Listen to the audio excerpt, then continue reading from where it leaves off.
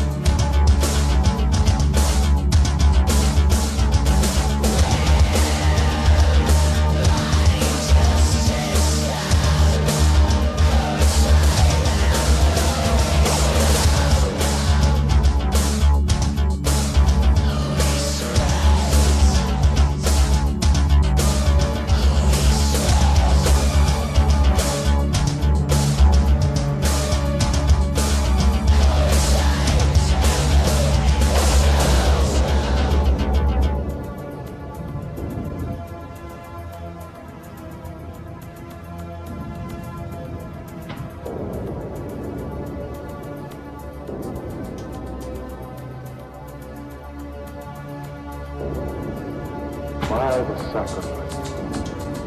Why the pain? There aren't any promises. Nothing certain. Only that some get cold, some get sick.